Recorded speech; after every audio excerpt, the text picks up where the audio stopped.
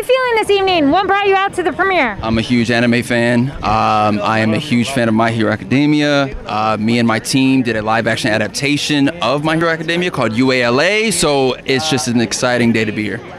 Now, if you could have any quirk that exists in the show or make up your own, what would you pick and why? I would have the quirk that I created actually in the series, which was uh, Veil and it made sure that nobody within a certain bubble could actually see me or anything that was going on in the bubble. Or, come on, you can't go wrong with Todoroki's power. You can go wrong with that quirk. He's hot, he's icy, he's the best of both worlds. Yeah. I dig it. I like it. Now, what are you most looking forward to with the premiere in person with an audience?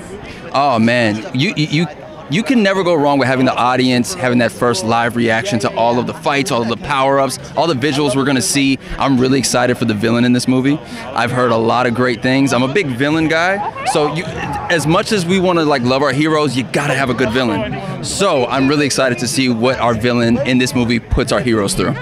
Cool. Well, thank you so much. Hope you have a good rest of your evening. Thank you so much for having me. Bye, guys. Well, thank you so much for watching. I'm Kari Lane with Fanversation. Be sure to check out our other red carpet interviews from the My Hero Academia World Heroes Mission premiere.